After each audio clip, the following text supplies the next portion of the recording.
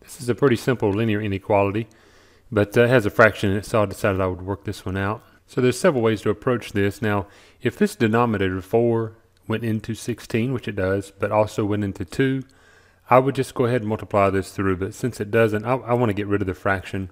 So I'm going to multiply both sides by the denominator here. So I'm going to multiply this by 4, and I have to come over here and multiply all of this by 4 as well.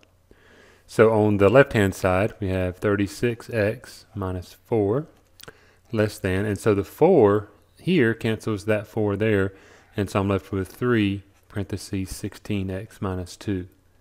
And now we have something that doesn't have fractions. So let's continue simplifying.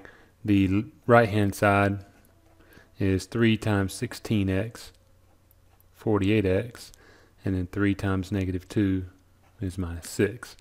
Now we're going to subtract 48 from x from both sides. And so I have negative 12x, and I'm going to add 4 to both sides. And so we have negative 12x less than negative 2.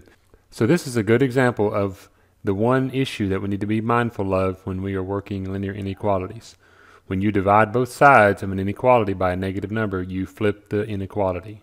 So right here, I'm going to divide by negative 12 on both sides because that's what I need to do here to work this problem. So I have x, and now I had a less than. I'm going to change that to be a greater than and 1 sixth. And that's the solution to this question. Now the other part of this is uh, understanding how to graph this. And before we talk about graphing it, let's talk about the interval notation for this question. Remember, interval notation for a, a greater than or less than is when we use parentheses. And when we have greater than or equal to or less than or equal to, we use the brackets. All right, in this case, we have uh, x greater than 1 sixth. Uh, here on the number line, I'm going to draw it on the number line here. So 1 sixth is between 0 and 1, and it's pretty close to 0. And we're talking about numbers greater than 1 sixth. So 1, 2, 3, all those numbers are greater than 1 sixth.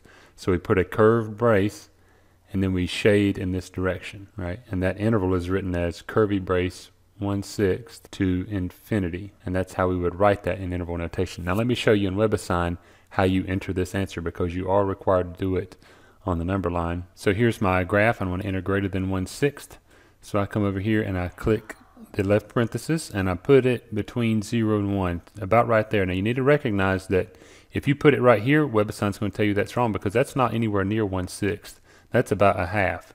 You need to be pretty close to 0 and then we're going to choose the left parenthesis and then we're going to click on the pencil here and we're going to draw right there and that's our shading the line to shade that everything is greater. And that should get you the correct answer. If it doesn't, you need to figure out exactly where 1 sixth is and maybe come over here, use the arrow and maybe move this a little bit closer to zero if it tells you you're wrong. Uh, WebAssign has some tolerance that it will allow here, but you need to be pretty close to 1 sixth. If you put it at 1 half, it's going to tell you it's wrong. So that's how you do this problem both algebraically and but also how you enter it in WebAssign.